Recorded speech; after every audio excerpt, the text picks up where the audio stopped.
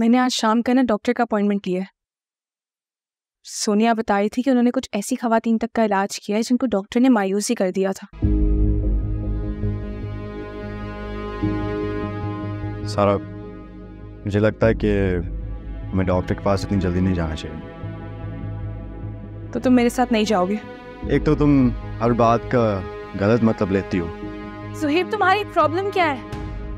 मैं जब भी तुम्हें कहीं जाने का कहती हूँ तो फ़ौरन इनकार कर देते हो। कंसिडर तक नहीं करते तुम मेरी बात।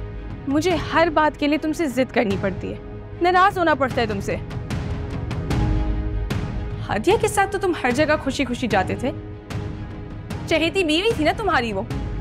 मोहब्बत थी। और मैं? क्या फजूल बातें कर रही हो तुम? तुम ऐसा क्यों सोचती हो? मुझे ये सब सोचने पर तुम मजबूर करते हो। देखो मैं नहीं चाहता कि तुम किसी बात पे टेंशन लो, लेकिन खैर, तुम्हारी मर्ज़ी है जो भी तुम करना चाहती हो। मैं जल्दी से आ जाऊँगा ऑफ़िस से। प्लीज़ अपना मूड ठीक कर लो, मैं ऑफ़िस जा रहा हूँ और मैं जल्दी आ जाऊँगा। देखो, I'm sorry. प्लीज़ मेरे सामने हादे का ज़िक्र मत करो। मुझे तकलीफ़ होती है।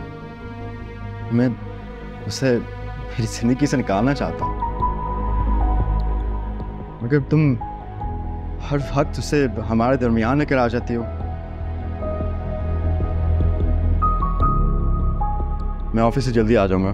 तुम तैयार रहना।